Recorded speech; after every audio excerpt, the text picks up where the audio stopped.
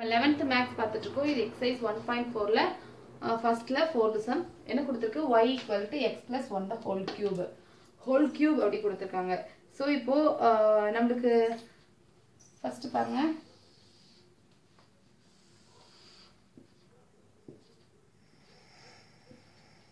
இது ஜீரோ இந்த இடத்துல ஒன் பண்ணுறேன் இங்கே மைனஸ் ஒன் இந்த இடத்துல ஒன் இந்த இடத்துல மைனஸ் ஒன் ஸோ நம்மளுக்கு எக்ஸ் கியூபோடைய கர்வ் எப்படி இருந்துச்சு? இப்படி இருக்கும். இதான் என்னது? Y equal to x cube curve இப்போ x plus one the whole square curve எப்படி இருக்கும் அப்படின்னு பார்த்தோன்னா எப்போ ஒய் வந்து ஜீரோ ஆகுதுன்னு பார்க்கணும்.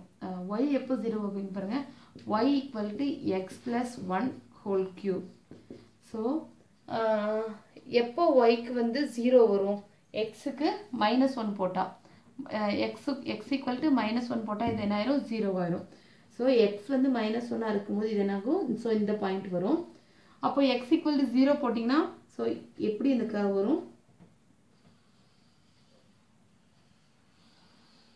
இந்த மாதிரி வரும்.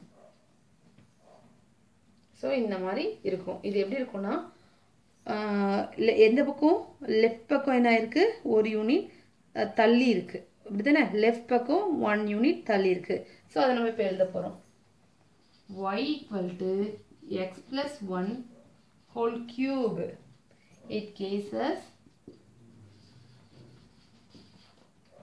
it cases the it cases the graph. y equal to x cube.